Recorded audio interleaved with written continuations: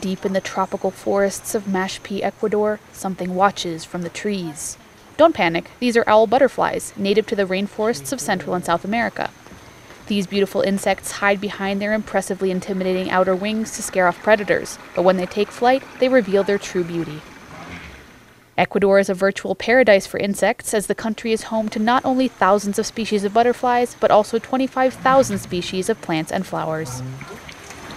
There are 17,000 species of butterflies in the world, and Ecuador's lush forests contain an amazing 25% of them. Human encroachment on their natural habitat, however, has pushed these creatures onto the endangered list, but conservationists in Ecuador are working hard to protect them.